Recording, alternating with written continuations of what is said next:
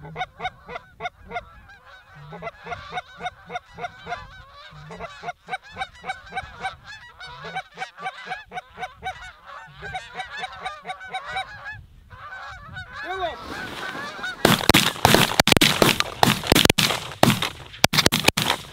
What is going on you guys? Welcome back to the channel and welcome back to another goose hunting video. If you have not subscribed to the channel yet, make sure you guys go down below this video and click on that subscribe button. This evening, me and Jon and Sam is in the Tacoma here and we're doing a little bit of scouting. It is early goose out here in North Dakota. I'm sure most of you that have been watching the channel this year have known that, but we're out here and we're looking for a spot to goose hunt. We've been driving around all evening and we actually came back to a field that we found the day before opener just a few days ago. But unfortunately, we could not get permission on it to hunt it opener. So we came back down to the same area and we attempted for the second time to find the landowner. And this time it worked out and we secured permission on this field. So I know you guys can't see it too well. I'll zoom in on it here in a minute, but behind me, we have a disked field that was, looked like corn, but it has a cover crop coming up on it. So there's a bunch of little green stuff sprouting up in the field and those geese are out there eating it. It is one of the biggest feeds that we have found since we've been scouting. There's probably close to 200 birds in it, so it's looking pretty good right now.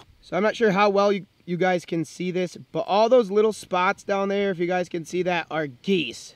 So we came up to the top of the field here and we're trying to figure out kind of the best spot to access this field and where we're gonna set up in the morning. Kind of sucks because they are feeding on the very north side of the field and we're gonna have a south wind tomorrow and we don't wanna set the blinds up on top of the hill because the grass is so short out there. We don't want these geese flying over us from where they're coming from and potentially seeing us sitting in our ground blinds. So we're probably gonna have to sit on the edge of the field and have the wind in our face, which isn't ideal, but the North Dakota wind in the mornings hasn't been too strong. So hopefully that's the case in the morning and it's only like like a five mile an hour wind and they don't really play the wind much.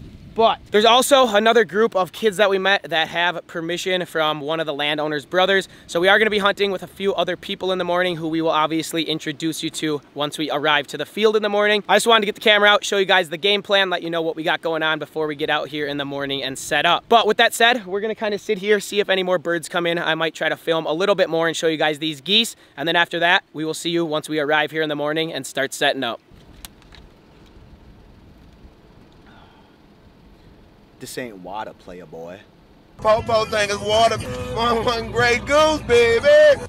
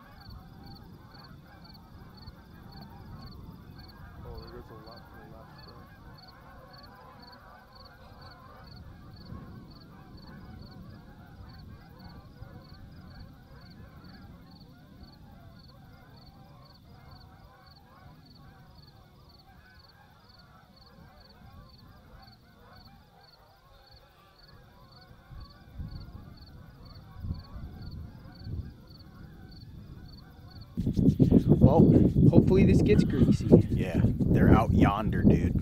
Okay, well, we just sat here and uh, waited for all those geese to get off to kind of get a general idea of how many are in here, and it's looking pretty good. This is probably the biggest feed that we have hunted so far, bigger than the opening feed for sure. So hopefully things go good in the morning. We're gonna head out to the field, kind of get an idea of where we wanna set up and where those geese were sitting quick, so we kind of have a general idea in the morning of what we wanna do while there's still a little bit of light. Then we're gonna head to the hotel, go to sleep, and we will see you all in the morning.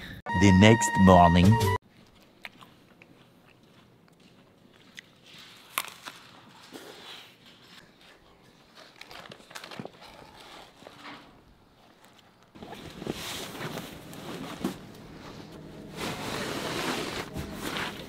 All right, you guys, well, we just arrived out to the field. It is about five o'clock right now. We already got a ton of stubble.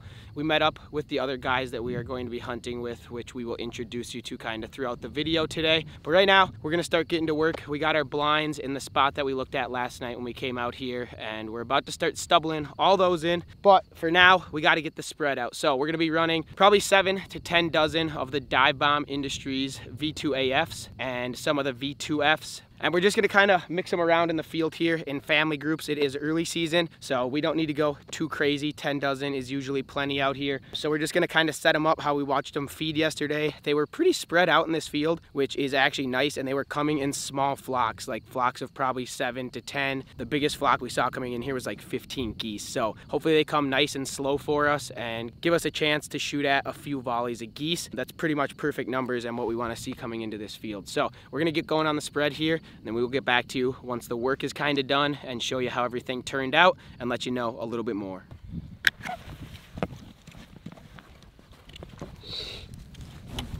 Also, if you guys want to check out any of the dive bomb decoys that we are going to be running today, also the dive bomb kickback blind that me and Jon are going to be running today, which I will show you guys a little bit later. All the dive bomb industry stuff, including their sweet apparel is going to be linked down in the description below my video. So if you guys want to check any of this stuff out, make sure you click that Dive Bomb Industries link.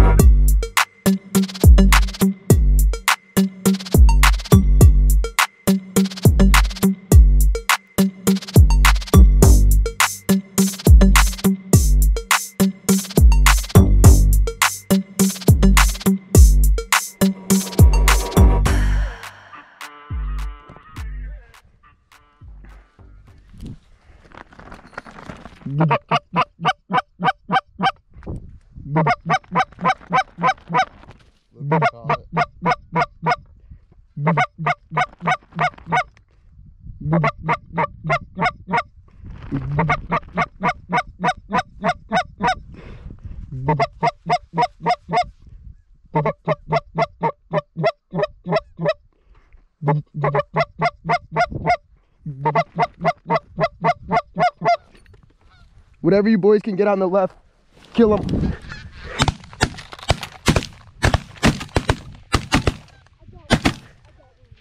There we go, boys. Good shooting. Not bad. Okay, well, we just uh, kind of got situated here and I only had time to put the GoPro on. The flag definitely helped us center those birds up. They kind of wanted to push up towards the top of the hill more, but they set it up pretty nice. All the boys got shooting there, so they did it pretty good, I would say. But these guys are just cleaning birds up. Shooting wasn't too bad, honestly. I think we got probably five, six geese, something like that, out of the first volley, and I would count that as a win there. I pulled my gun up. I had a shell like stuck out of my chamber, so it wasn't actually in the chamber, and I forgot about that, but still got one, maybe two, and uh, I'd say that was pretty good so far.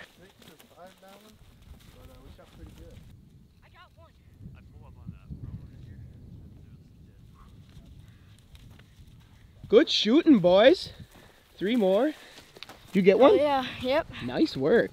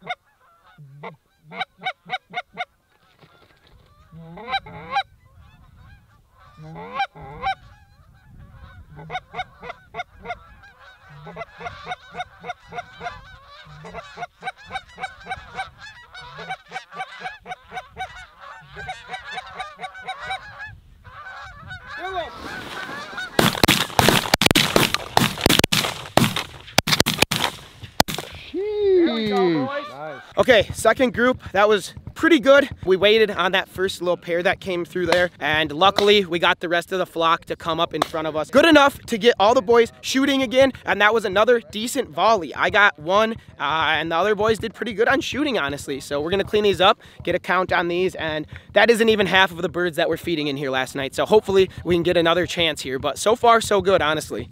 Those did That it a little good. better, huh? I think we got eight or seven out of that.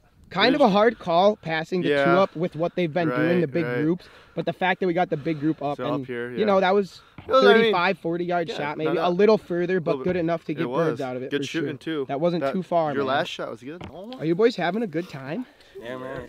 Yeah. Birds in hand. That was another decent volley. Eight of them.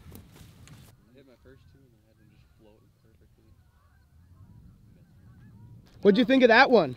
That was that was that was good. Are you having fun? They're doing it filthy. That, odd, That was a lot of filthy. short stopping us, but that wasn't bad for No. what's been happening for that big group. That was good. That was good. I like that. All right, well, the birds have kind of uh, slowed down. Hopefully there's some more on the water, but we're just gonna sit here and wait. It's still pretty early. And I figured while we were waiting here and had a minute, I wanted to show you guys the dive bomb kickback layout chair. So I got mine last season. I got to use it a little bit towards the end of the season, but this is the first time I've had it out early season and early in the year, and I absolutely love this thing. Super simple to use, super lightweight. Pretty much, you got your armrest, nice and comfy, and then you got your backrest, which is fully adjustable. All you have to do is click it up like this. You can sit straight up if you want for whatever you're doing. If you're doing something else uh, different than this, laying in the field, obviously, I like it about in the middle.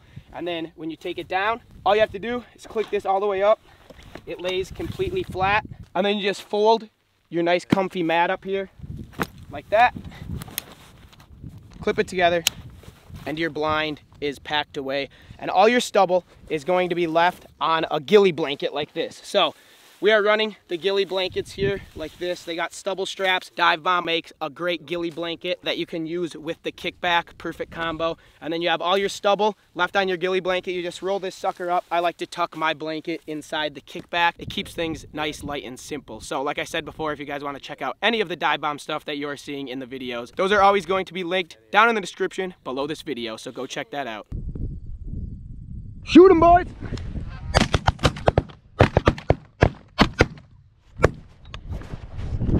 My hat did fall off. Rest in peace. Rip.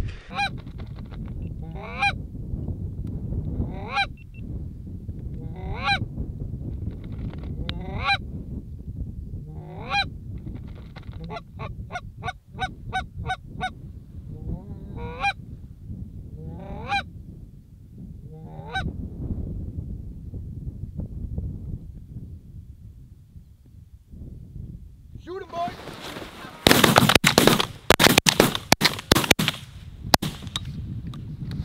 That clip you just saw was from Jon's camera. So shout out to John once again. If you guys want to subscribe to his channel, MinnDak Outdoors, that is going to be linked down in the description below this video.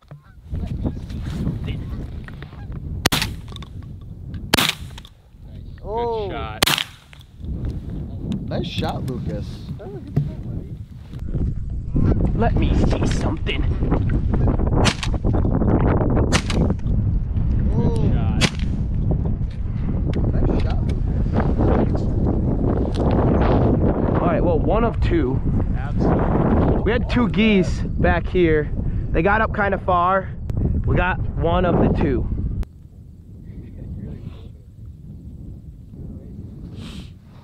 On the left. On the left.